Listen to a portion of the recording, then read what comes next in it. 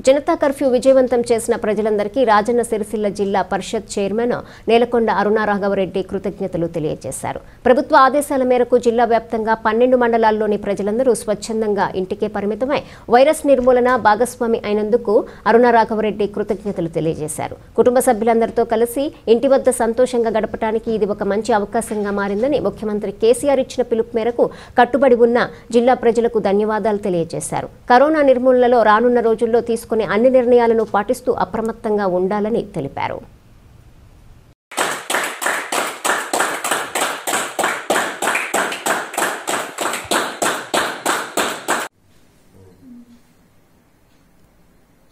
ఈరోజు మన గౌరవ ముఖ్యమంత్రి గారి ఆదేశాల మేరకు కరోనా వైరస్ ఈ జనతా కర్ఫ్యూను విజయవంతం చేసిన రాజన్న సిరిసిల్ల జిల్లా ప్రజలందరికీ హృదయపూర్వక